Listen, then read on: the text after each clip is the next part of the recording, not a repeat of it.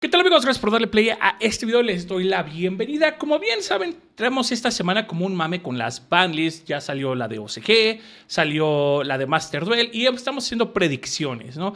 Eh, en el video de la predicción muchos me decían de por qué se le tiene tanto miedo al motor Fiendsmith. Y más que nada no es tanto al Fiendsmith. Sabemos que Yu-Gi-Oh! ya lleva muchos años con un power creep bastante pasado de lanza. Y el One Card Combo ya básicamente es el pan de cada día en las estrategias que potencialmente son meta. Aquí el tema es que hay algunas cartas que son muy abusables gracias a estos engines. Y es por eso que se trata como de corregir bajo nuestro punto de vista este tipo de situaciones. ¿Por qué?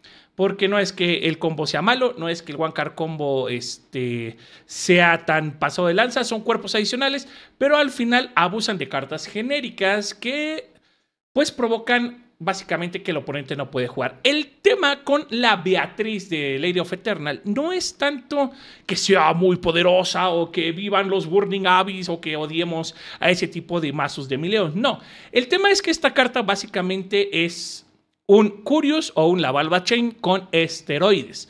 Entonces, si tenemos estas dos cartas prohibidas debido a que la utilización de estas fomentaba, pues básicamente que te llenaras de recursos en algunos casos o que fueras por cartas específicas que básicamente evitan que el oponente juegue, pues esta ya lleva demasiado tiempo a uno, al menos acá en TSG. Eh, vamos a mostrarles algunos combos de los Fienmins para que vean más o menos cómo está el tema. Y con la Betty realmente es el tema de poder enviar dos trampas, una es la rollback y la otra es la Mayakashi. Yo sé que en este punto todo el mundo ha oído de la trampa Mayakashi, que pues, no te permite invocar mientras controles un este, monstruo tipo de mano, bla, bla, bla, bla, bla, bla, bla. O monstruo zombie, no te permite jugar prácticamente, pero sus requerimientos es bastante complicados de hacer. Y en, llega momentos en el que, más allá de que sea complicado de hacer, básicamente solamente un tipo de deck podía hacerlo consistentemente si así lo queremos ver. Ahora con la llegada de Dylan Smith, pues esto cambia bastante. Así que vamos a ver rápidamente a lo que me refiero. Muy bien, aquí vamos a tener este pequeña repetición a golpe, a tope, este, para que lo podamos ver. Esto básicamente es el combo Fiensmith a toda velocidad. Eh, descartas, vas por magia, activas y esta magia nos va a dar más cosas. Se utiliza con el Fablet también Laurel, se va a convocar, Link 1 y pues aquí empezamos a ver cómo va todo poco a poco. Básicamente es reciclar. Este es el compo Fiensmith normal. Aquí ustedes dirán, no pasa nada. Sí, técnicamente no pasa nada. El tema es que vean cómo se empieza esto a ir fomentando más, en más invocaciones, en más invocaciones, hasta llegar a una fusión que pues tiene ciertas características de negación. Este es el combo Fiensmith normal. No pasa nada con esto. Es la negación que estos dejan. Ahora, hay una variación en donde se vuelve molesta y es en los cuerpos que pueden dejar. Como ustedes pueden ver, aquí puedes negar cartas en el campo de acuerdo a la cantidad de link rate del monstruo que le equipas. Eso no es problema, ese es el combo normal del Fiensmith. Pero vean, todo inicia de manera similar. Básicamente es el mismo maldito combo, el mismo starter y cambia ya conforme va avanzando la jugada. Entonces, si podemos ver que el One Card Combo básicamente está muy pasado de lanza, aquí podemos dejar al Caesar una negación, un exit, que bueno, es una negación de invocación nada más, ¿eh? No es genérica. Si utilizas magia, trampa o efecto de monstruo que vaya a convocar, ¡pum! Lo niegas y lo puedes utilizar dos veces, ¿no? Y también el monstruo enlace pues tiene su pequeña interrupción. Como pueden ver, ya tenemos dos salidas, una negación genérica en campo que selecciona, un mono que va a negar invocaciones especiales y aquí ya cambiamos la estrategia, ¿no? Ya es la misma situación, misma carta inicial, pero aquí ya es con Beatriz. Y aquí es donde viene el problema. En tu turno envías rollback y en el turno del oponente envías Gosmith's Girls a Maya, la carta de las Mayakashi. ¿Qué pasa? Que esto básicamente va a bloquear todo. Aquí es donde está el problema. Este es un lock de una carta que pues básicamente ya, pues ya no puedes hacer nada ya no puedes hacer nada. Y vamos a ver más combos precisamente que se pueden hacer aún con más cartas. El Smith realmente es demasiado versátil y para un metajuego actual o como está el juego actualmente, pues es normal. O sea, Está roto, lo vemos roto, no gastas ni el normal sumo, no gastas ni efectos, no hay restricción, no, no hay nada. Técnicamente no hay nada.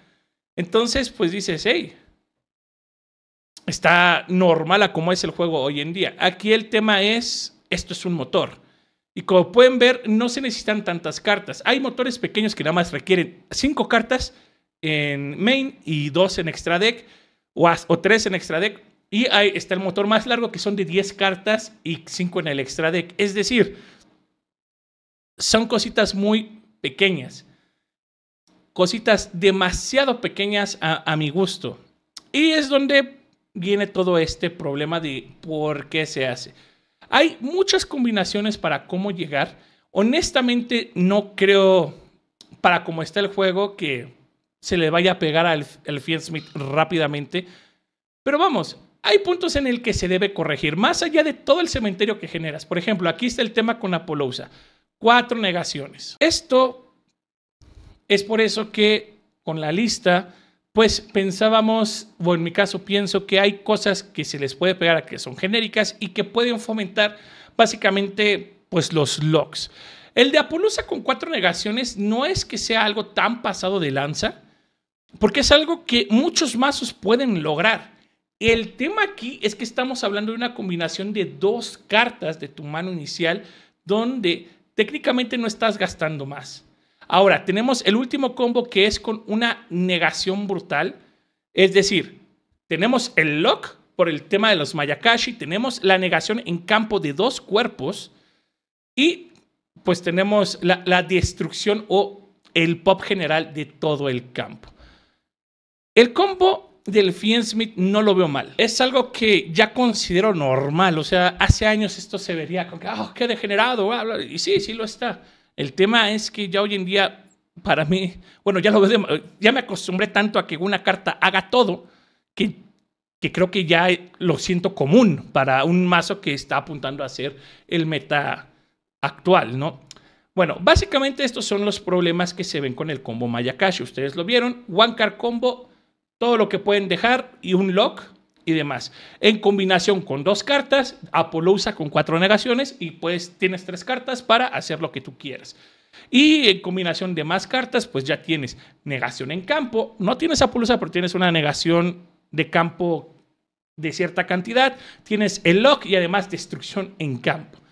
Suena bastante potente. Es por eso que bajo la lógica que yo estoy empleando, es más fácil pues pegarle a las cartas que pueden provocar que esto se salga de control, ¿no? Como Beatriz y como la Apolosa.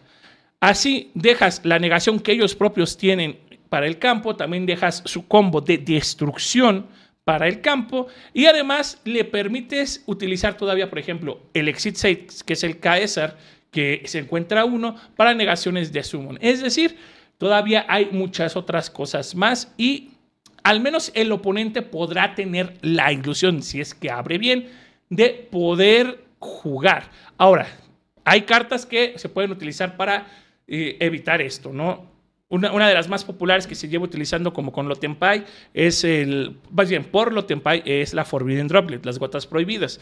Sí, las podrías utilizar, podrías hacerlos, pero al final eh, es una, o sea, vas a utilizar una negación, si es que quieres utilizar una, para todo el campo que te pueden dejar. Ahorita simplemente vimos el combo Fiensmith, lo que te puede dejar las cartas Fiensmith.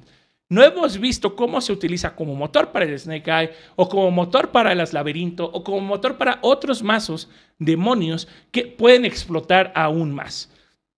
Y no nada más demonios, también otras este, alternativas. Es ahí donde viene el problema. Es por eso que la Beatriz que sea tan fácil de lograr un lock más el campo establecido que tienes, pues termina siendo bastante. Y aunque, por ejemplo, más allá de la Forbidden Droplet que se encuentre Evenly Match o Dark Ruler No More, estos son efectos que se utilizan básicamente en el inicio del turno del oponente.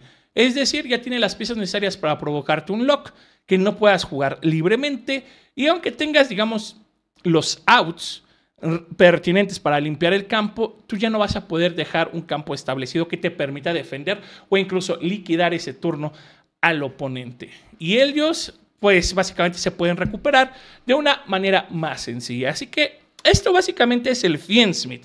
Les repito, para mí ya es algo normal que sea así de roto, considerando que es un contendiente al metajuego, pero sí hay cartas que podemos ver que sobresalen demasiado, que es todavía eh, una bonificación extra a lo ya pasado de lanza que te van a dejar y que se convierte en algo ya ridículo prácticamente. Es básicamente como antes cuando te dejaban tu combo guadaña, ¿no? Que te dejaban cuatro o cinco negaciones y todavía el combo guadaña para no dejarte invocar desde el extra deck. Es, güey, está muy cabrón pasarme ese campo y todavía me dejas una bonificación que ya es totalmente ridícula.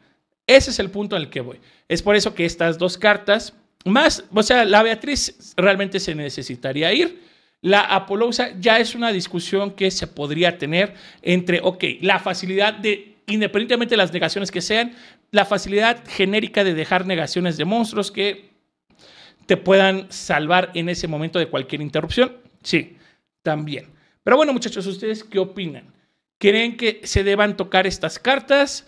Creen que deban ir por las cartas lock que pertenecen técnicamente a un arquetipo diferente o simplemente creen que la lista no se va a dar, lo van a permitir y vamos a tener este juego de tier 0 con lock bajo el dominio de los mazos fuegos como pasó en OCG durante nueve meses.